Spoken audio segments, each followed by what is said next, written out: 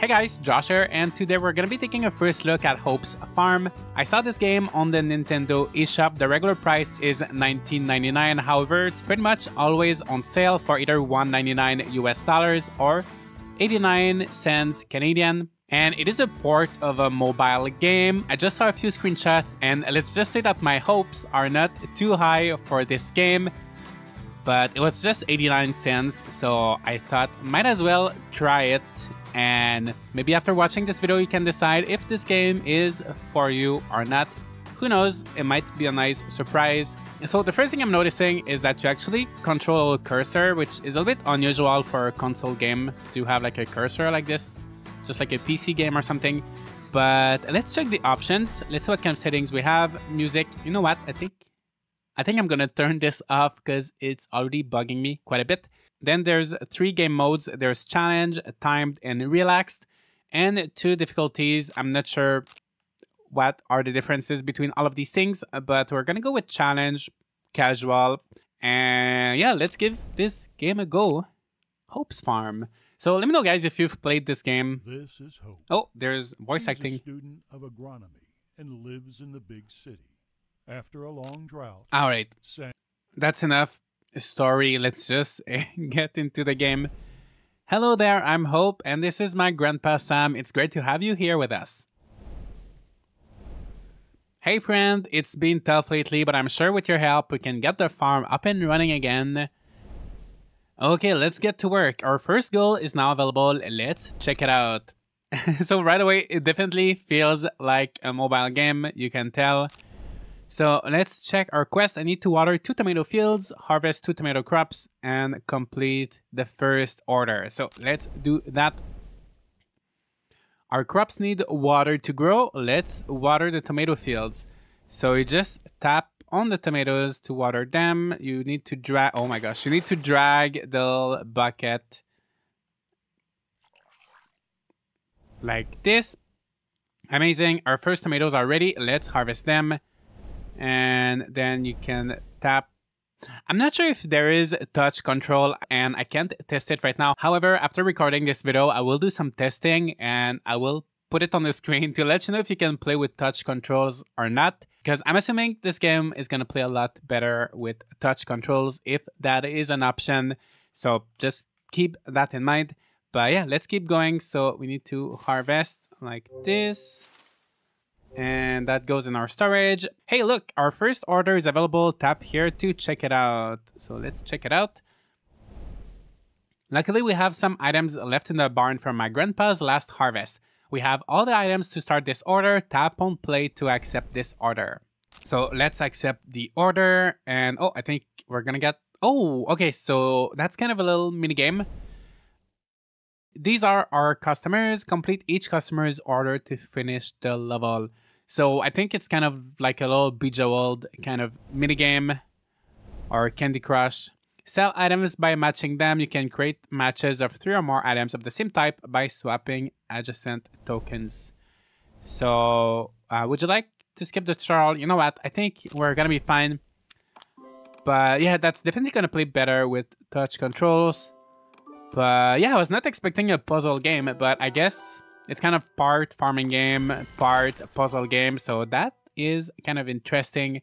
Uh, that's definitely not something we see very often. So I guess that's nice. I gotta give them points for the originality, just for doing something new, uh, breaking boundaries, and all of that stuff. So I guess that is good. And actually, this plays surprisingly well even with a controller, actually, it's not too, too bad. Um, could be worse. Definitely could be worse.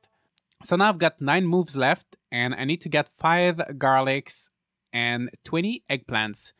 Alright, so I've got 4 moves left, and I need to get just one more eggplant. So I'm gonna do this, and I got it. So that was not too bad. It took me 3 minutes, 3 seconds, 28 moves. And I got a little bit of gold, no bonus gold. So I guess I could have done better, but it's actually not too bad. And all right, so that is done. Level up. Oh my gosh, the music. I got some diamonds and I unlocked the cornfield, orange tree, and Mr. Scarecrow. So wonderful, some new items are available in the store. Let's buy a cornfield. So I'm gonna do that. And I'm gonna place that right here. It's actually hard if you want to be precise with your movements. So if I take a look at my quest right now, I need two cornfields and two orange trees. So I've got my two cornfields. However, I don't think I have enough money for orange trees right now because they cost 100 each and I just have 50 coins. Um, so that's not gonna happen. We're gonna have to fulfill some orders first. So let's check out order number two. So to start this order, I need 40 bananas, 35 garlic, and 35 tomatoes. So I think I'm gonna plant some more tomatoes like this. Oh, we can water everything at once. Okay, so that's not too bad actually. And then you just gotta wait a few seconds and then you can harvest. So you can harvest everything at once as well. So now I think we should be able to do the order. So let's do that. And as you can see, every order is gonna look slightly different. So here we got a completely different layout from before. And I've got this little shovel here that will allow me to destroy obstacles. Yes, exactly like this. So I'm gonna Oh, I think if I want to use a shovel again, I would need some diamonds. And currently the 32 diamonds pack is 10% off. So let's see how much that costs. Uh, now I need the lightning power up destroys. Oh, no, wait. Oh, I need more. No, okay, wait. No, I'm confused. I want to see how much it costs to buy diamonds. I'm not too sure how to buy diamonds. Uh, like, even if I wanted to buy them, I'm not too sure how it works. Um, so I guess I'm gonna try that later, but first I'm just gonna complete that order. So I need tomatoes, bananas, and garlics. All right, I did it. And actually went pretty well. Let's see if I get any bonus gold this time. No, still no bonus, but it took me just 1 minute 26 and 20 moves.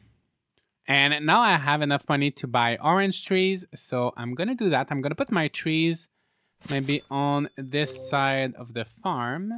And next I need to decorate the farm with Mr. Scarecrow. So let's see if I have enough money for the Scarecrow. Oh, I'm missing five coins, so I'm gonna do another order. I need more tomatoes, so let's plant some more tomatoes. So I will say so far, actually, I am pleasantly surprised. This little puzzle game is actually a lot more fun than I thought. I think I'm definitely getting my dollars worth of enjoyment right now. I don't think this would be worth $20 for sure, but for a dollar, I think it's definitely a pretty cute, like enjoyable little game. Uh, just don't expect any kind of farming sim masterpiece. It's, I guess it's kind of really a mix between games like Farmville and like Bejeweled or Candy Crush. So now I'm gonna place the scarecrow and I'm gonna move it around because that was one of my quests to move it around. And so day two is done. I can claim my rewards. So I can't see any quests for day three right now. I'm not too sure if I need to trigger something. So I'm just gonna keep playing and I'll check in with you guys when I've made a little bit more progress. Alright, so I made a little bit more progress and now I've just unlocked the chicken coop.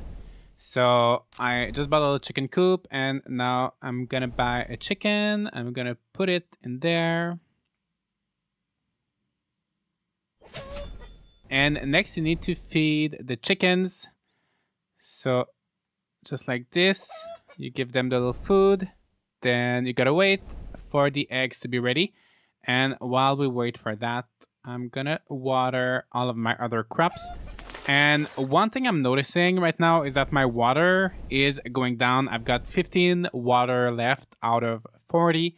So I'm looking forward to seeing what will happen once I run out of water. So I guess we'll find that out soon. And now the eggs are ready, so you just grab the basket and you go over the chicken. Got my eggs. I'm gonna harvest all of this and I should be able to do the next order. So let me see if there's, yeah, this order requires some eggs, but I need three eggs. So what we'll have to do is feed the chicken one more time and I'm gonna water my crops again. In the meantime, pick up my second egg and feed my chicken a third time. So this is where it gets kind of a little bit repetitive. And now my third egg is ready. So just pick that up and I will harvest everything.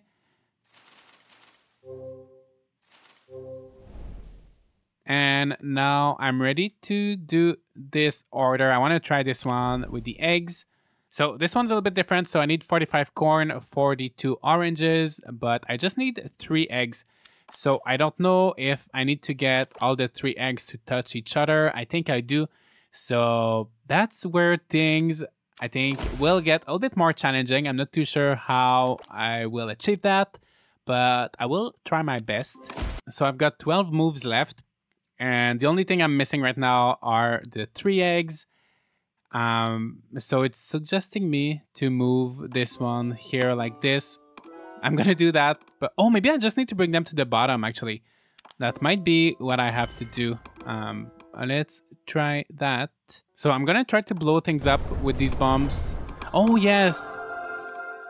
Yes, that is what you have to do. So they don't have to touch each other. They just need to go to the bottom of everything. So it's actually not too bad, not as hard as I thought it was to be. So I have zero move left. I had just one egg to do, but I failed. So you can buy five extra moves or restart the level. So I will restart. But at least now that I know what I have to do, I think this will be a lot easier. And I did it with 11 moves left, so that was not too bad. Let's see if I get any bonus gold. Yeah, I got 20 bonus gold. And I just ran out of water, but don't worry, you can collect more by tapping on the well. So just tap on the well and then... Oh, so I think there is a mini game for water, so I thought I was going to be forced into some sort of microtransaction, but actually when you run out of water, you just got to do this one. Oh, and I just figured out what I need to do exactly. So there's a water here in the top left, and there's a well here. So I need to clear the way between the water and the well. So I'm going to try to do that.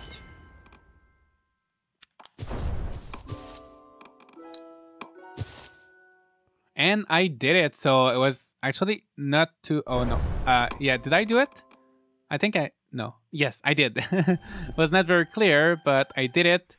So my water is filled. I'm back 40 on 40. So that's actually pretty good. Let's harvest everything. And oh, now the storage is full. So we're starting to have a little issues. But I think we can probably, well, we can either do quests that will use the stuff that is in our storage, or you can actually upgrade, but the upgrade requires a farm level 5. So I'm just going to keep doing orders for now. Alright, so I've been playing the game for a few hours already, and I'm now level 5, so I can upgrade my farm. And so that's good. I'm finally going to have a little bit more storage. So before I wrap up this video, I'll just give you my thoughts on this game so far. First, it turns out that there are no microtransactions, you just buy the game once and that's it. However, as you can see, they have done very little to port the game from mobile to Switch, and you can clearly tell it is a mobile game in every aspect. So the game plays a bit awkwardly with a controller, the farming is not very intuitive, like the way you have to drag and drop everything with the cursor is just not very fun. And in a true mobile game fashion, you do have to wait in real time for your crops to grow or your chickens to lay eggs. And even though it doesn't take too long, it's still a bit annoying. There are also the different currencies, so even though there are no microtransactions, you still have both coins and diamonds, which I think they should have combined. There's also the bucket of water that has to be refilled, and even though the minigame to refill it is fun, it feels unnecessary, and you can tell this is clearly a remnant of the mobile version of the game, where you probably had to pay to refill the bucket.